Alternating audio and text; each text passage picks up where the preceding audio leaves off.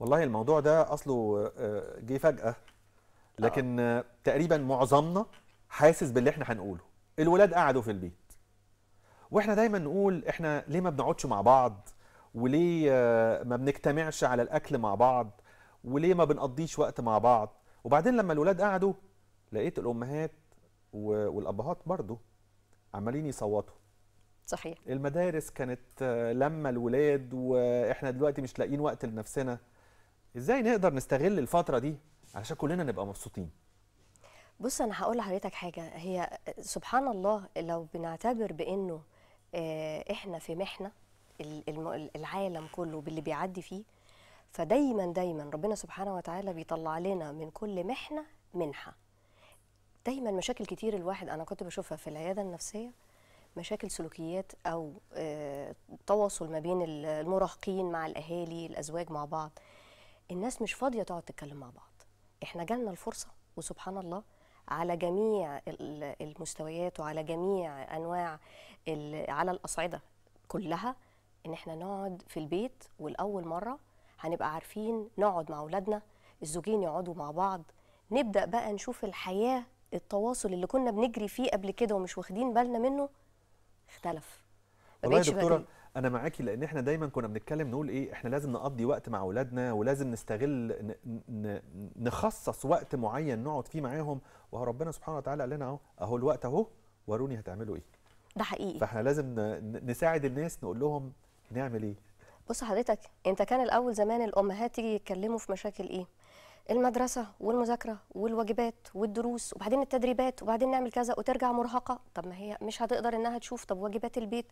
الأب دايما ما بين شغله والشغل التاني آه، يوفر كذا يرجع متأخر ما يشوفش ولاده. في أهالي ما كانوش بيشوفوا ولادهم الابهات والأمهات صحيح. يتقابلوا مع بعض غير في ال weekend ويبقى الأب مثلا نايم تعبان طول الأسبوع فبالتالي يوم الجمعة كله نايم وتيجي الأم هي اللي تاخد العيال وتخرج. بص lifestyle كانت مختلفة وفيها ضغوط.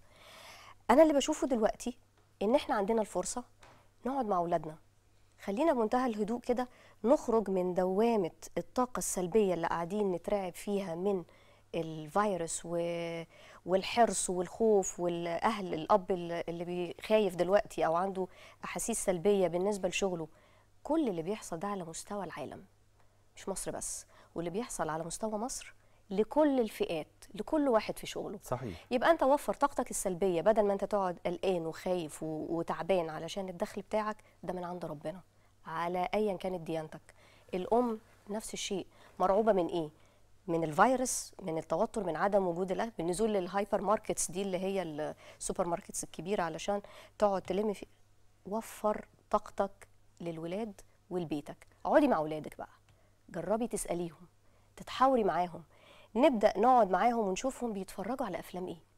بيلعبوا ألعاب إيه. نتفرج سوا. نتفرج مع بعض. مم. ده هيخليك تقدر تعرف تدخل عقليتهم وتشوف هم بيفكروا إزاي. جرب لأول مرة كده إن الحياة ما تبقاش تعليمات روحي وتعالي واعملي وشيلي وذاكري وادخلي نامي والساعة كذا ومش عارفة إيه. الحاجات دي كلها خلينا نحط ده على جنب.